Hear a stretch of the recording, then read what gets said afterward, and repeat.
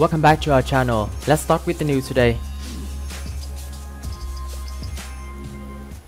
Kansas governor vetoes transgender sports ban, parental bill of rights.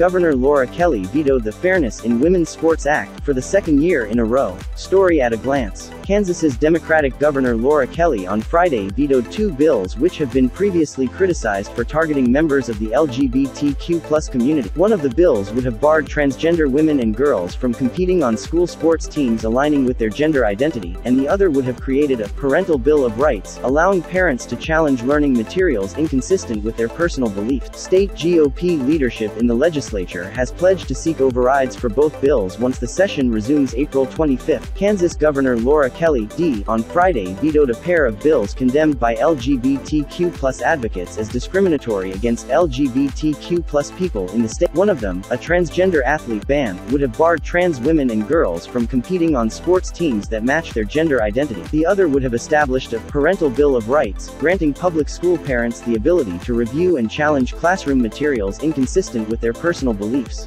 Under the first bill, or the Fairness in Women's Sports Act, public school sports teams from the elementary to the university level would be designated by biological sex, or a student's sex assigned at birth.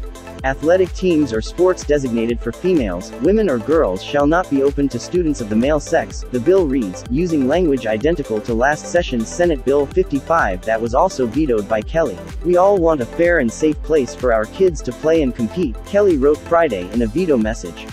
However, this bill didn't come from the experts at our schools, our athletes, or the Kansas State High School Activities Association.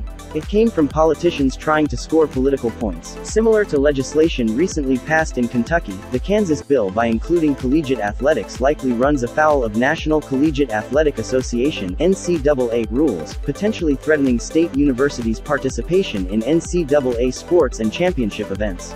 Attempts to bar transgender people from athletics have been thwarted in Idaho and West Virginia and lawsuits are pending against similar bans in Tennessee and Florida.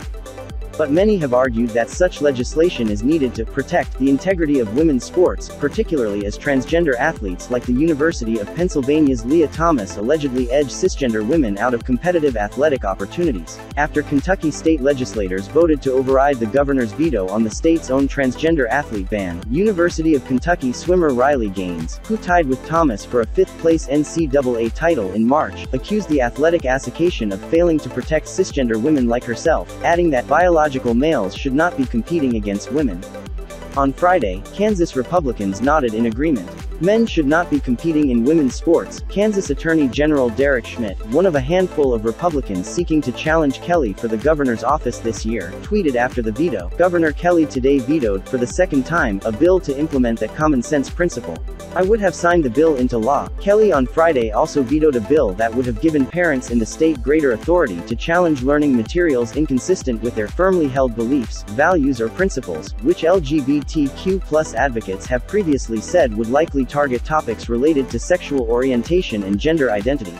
In a veto message, Kelly said more than 100 parents in Kansas had testified against the bill, arguing such legislation would only fan the flames of division and would likely end up being unnecessarily costly for the state.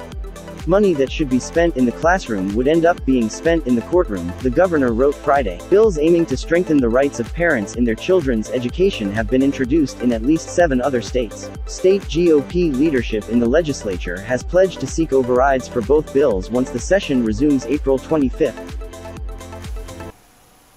This is the end of our news today. If you like this video, please like and subscribe for our channel. Thanks for watching and see you next time.